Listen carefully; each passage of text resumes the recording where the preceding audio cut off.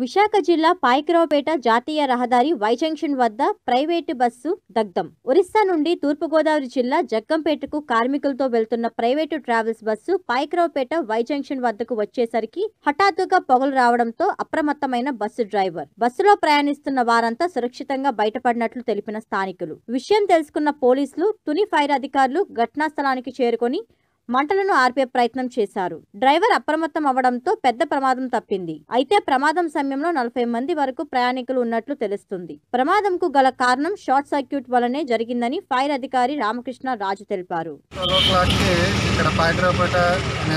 దగ్గర ఒక passenger bus అనేది ఫైర్ అవుతున్నట్టు మాకు మెసేజ్ వచ్చింది.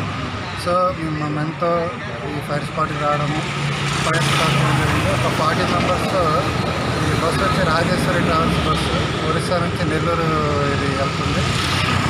ఇమీడియట్గా ఇది ఒక షార్ట్ సర్క్యూట్ వల్ల ఫైర్ జరిగింది.